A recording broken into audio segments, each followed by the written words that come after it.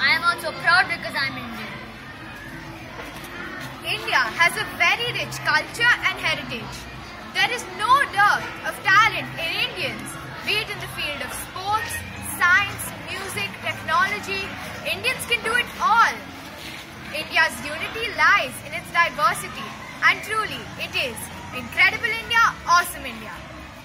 India is now a developing country. It has huge buildings which are very tall. Even though India is one of the most populated country in the world, it maintains it, its unity and diversity. So I think it's the best. I think India is incredible because we get to choose our own government. It, it has a vast diversity and it is uh, proud and secure.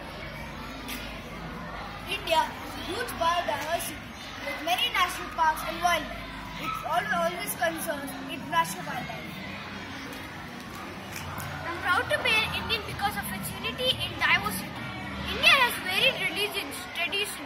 Cultures, and languages.